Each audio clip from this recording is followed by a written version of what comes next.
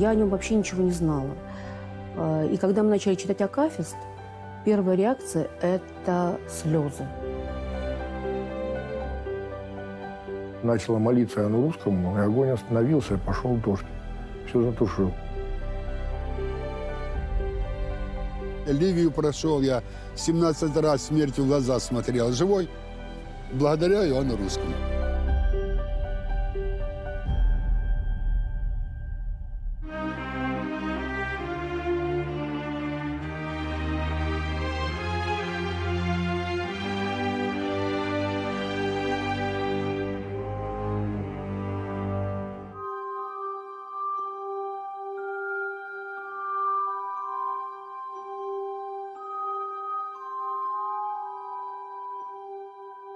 'Я родился христианином, христианином и умру'.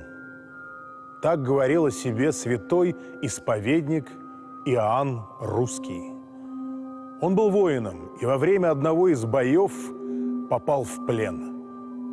Мучители пытками пытались заставить его отказаться от Бога. Но святой веру не предал. Стойкостью и трудолюбием он смог заслужить свободу от рабства. Но главная свобода, к которой он стремился, это свобода от греха.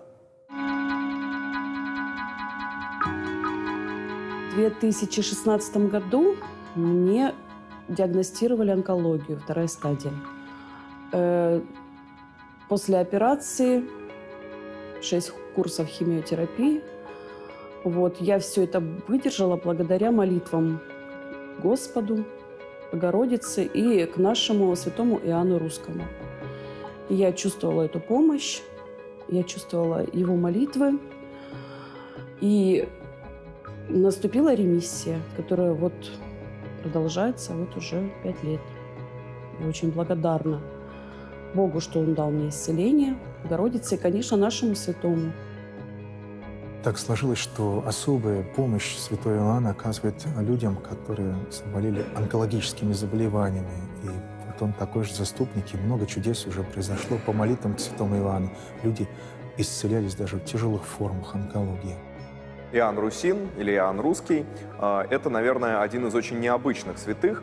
Вообще, то время, когда он жил, у нас обычно со святостью не очень ассоциируется. Да? Иван Русский жил в конце 17-го, начале 18 века. В России эта эпоха чаще всего ассоциируется с Петром Великим и его ближайшими наследниками. То есть это время а, поворота на Запад, это время такой демонстративной светскости, отказа от э, старых традиционных православных порядков и, честно говоря, конечно, неожиданно встретить э, святого, который жил именно в эту эпоху.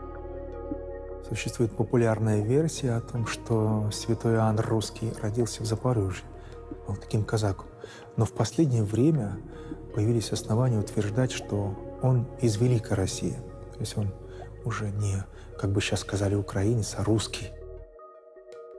Рождение Иоанна Русского в казачьей среде, э, в принципе, не вызывает разногласий, а вот конкретное место рождения действительно теоретически может варьироваться, поскольку э, казачество в то время э, было несколько, скажем так, подвижным, несколько чуть ли не кочевым, и, в принципе, многие казаки могли перемещаться с Запорожья на Дон и обратно.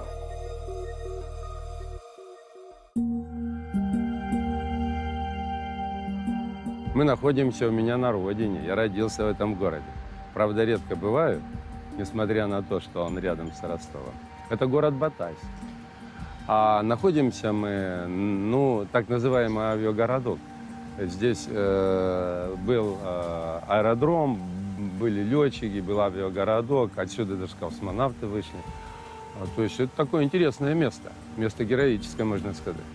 Жители Кубани не сомневаются, Иоанн Русский когда-то родился именно на этих землях. В честь святого здесь установили памятник, единственный в России и один из трех во всем мире. Мне пришлось изучить очень много материала, прежде чем появился этот эскиз. Вы знаете, вот э, бывают такие э, композиции, когда они рождаются очень тяжело, мучительно – они рождаются долго. Э, это очень мучительный процесс. В данном случае э, я просто получал наслаждение. Я всегда, когда что-то делаю, говорю с Божьей помощью. А летчики э, – это наши воины, и они предложили установить этот памятник вот на территории городка, в городе Батайске. Они его любят, они его почитают. Вот так все это состоялось. И рядом строится храм э, имени Ивана Русского. Когда храм был заложен, вот, оказалось, что вот здесь огромное количество людей, которые так или иначе да, а, связаны с воинской профессией, и этот храм действительно здесь нужен, и именно а, человека, который был бы покровителем для а, военных структур. Про святого праведного Гаяна Русского у нас на Руси, по моей информации, знает немного людей. Вот. Почему так? Сложно ответить. Ну, возможно, наверное, потому что вся жизнь, да, вся жизнь, подвиги, они проходили за территорией России и к привязке как раз-таки вот к земле русской не имеют. В период турецкой кампании Петра I казачество активно участвовало в боевых действиях. Иоанн Русский еще юношей был призван на военную службу. Правда, информации о том, где конкретно служил святой, не сохранилась. Иоанн Русский родился в России в конце 17 века. И во время войны с турками в 1711 году вместе с другими воинами был взят в плен и был продан одному турецкому военачальнику.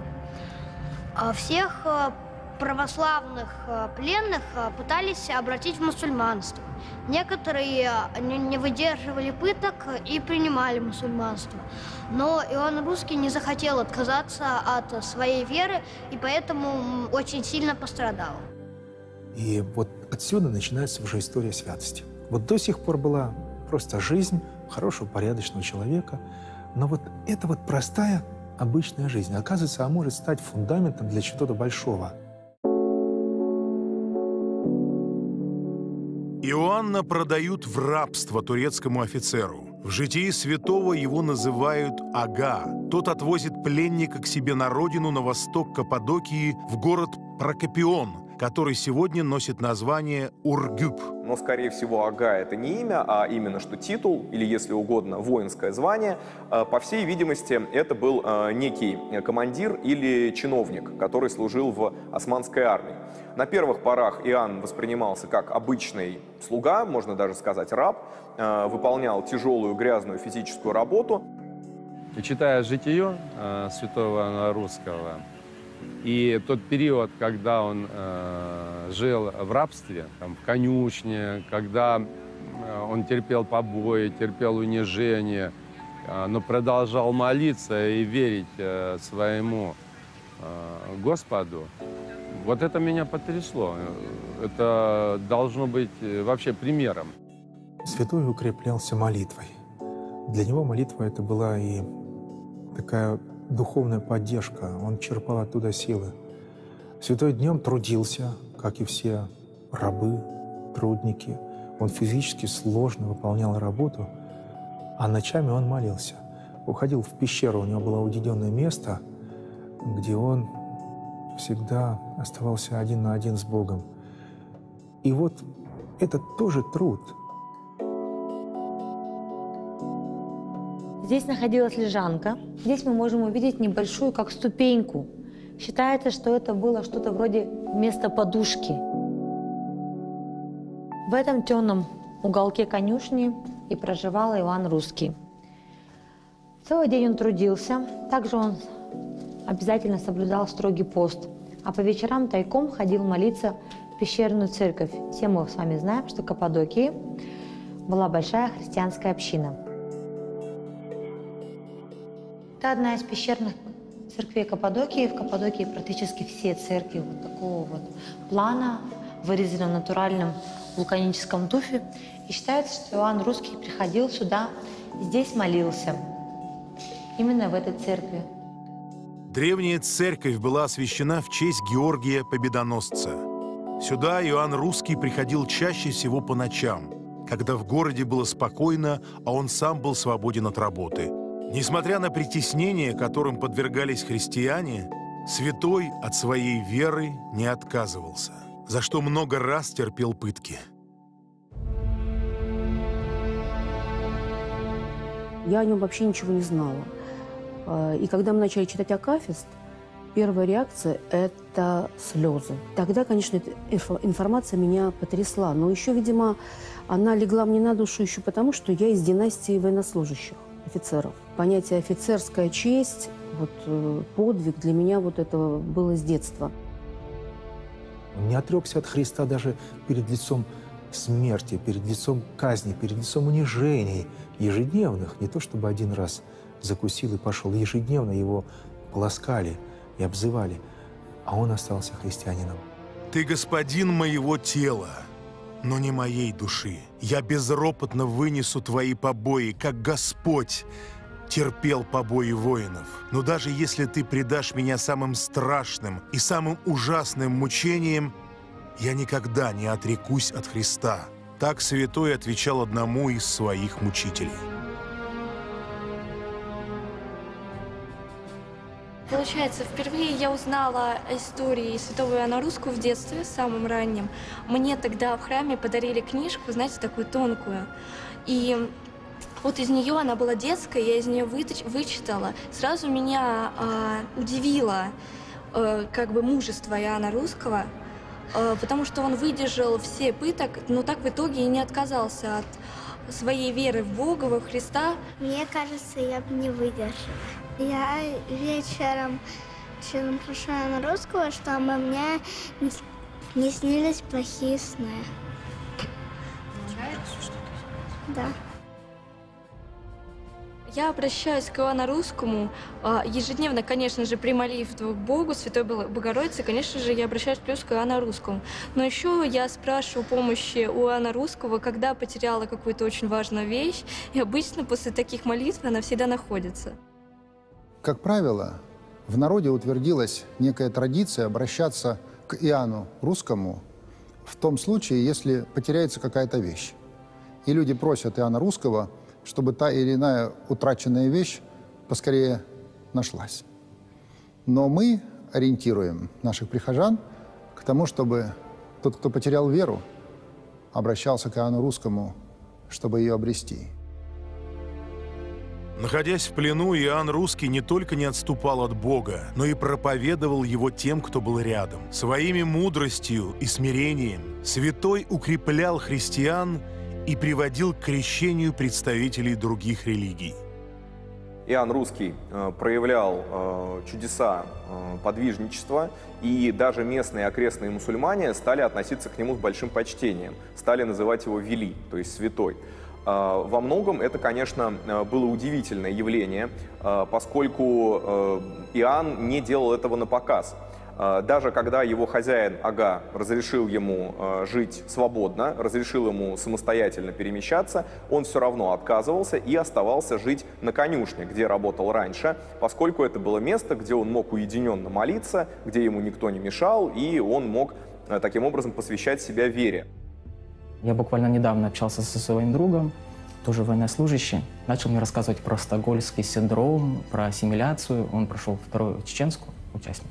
Он говорит, ну вот так бывает, рассказывать. Я говорю, ну ты, друг мой, пойми, пожалуйста, что он не ассимилировался в том плане, что он остался православным христианином.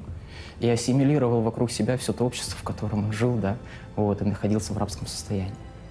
Вот, поэтому вот стойкость духа, вот, а, такая духовная харизма и, конечно же, да, смирение — это самые важные черты, которым мы должны учиться и перенимать из жизни святого.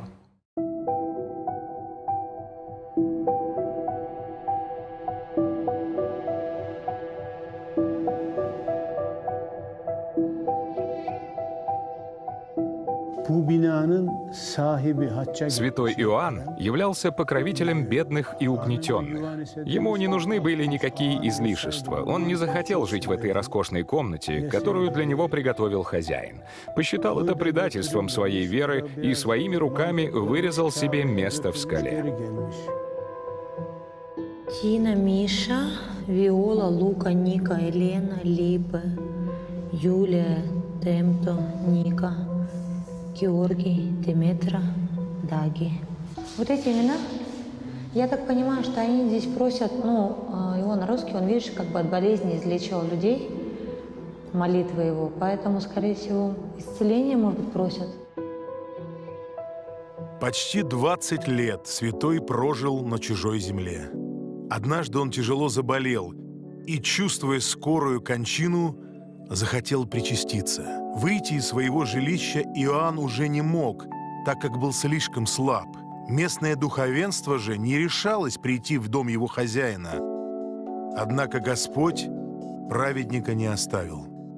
Здесь интересный момент, когда священник завернул, упаковал частичку святых даров в яблоко и велел передать это святому. Таким образом он замаскировал, скрыл святые дары, и они целиком полностью дошли до святого. Угодник Божий приобщился последний раз в своей земной жизни от тела и крови Христовых и вскоре предал Господу Дух. И прожил он всего лишь 42 года, у него был год за три, как у военных. Знаете, бывает такое в точках. Год за два, год за три. Вот. Всего лишь 42 года. Но э, какая-то была жизнь. Он горел. Горел, этим светом зажигает наши сердца. После смерти Иоанна Ага сам отдал мощи монахам в храм, в котором при жизни молился Иоанн Русский. Сразу после того, как он умер, э, в этом городке, Ургюпе, зародилось его стихийное почитание. То есть э, люди сразу осознали, что это не простой человек. По легендам, э, на его могиле начали происходить разнообразные чудеса, и он стал чем-то вроде местного символа. Причем, повторюсь, что интересно, не только для православных христиан, которые проживали в этом местечке, но и для многих мусульман.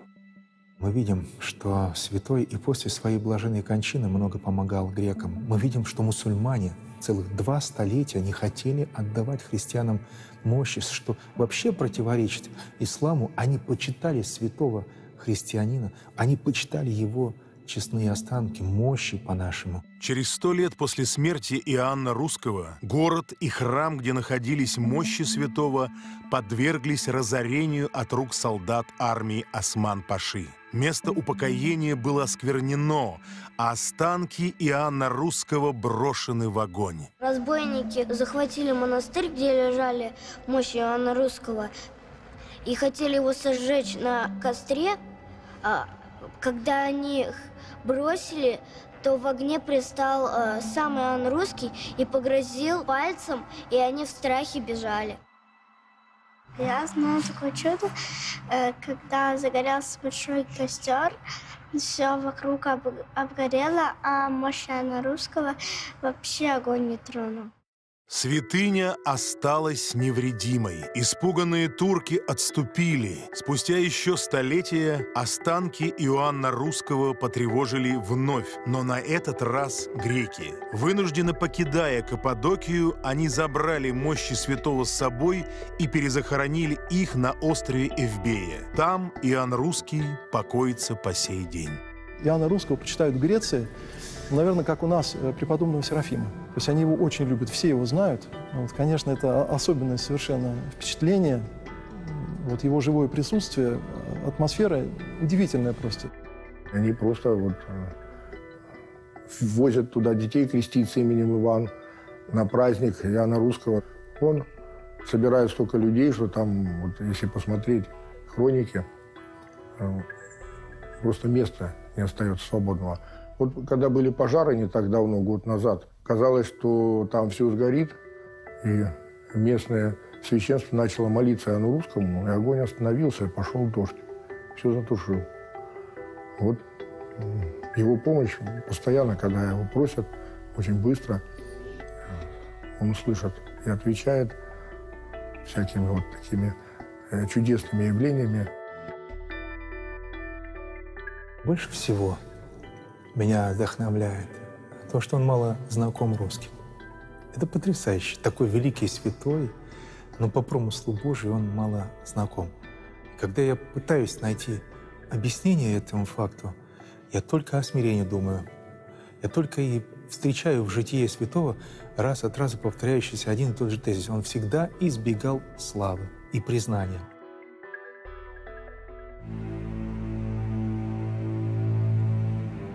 Я об, об этом святом практически не до этого времени я о нем не слышал.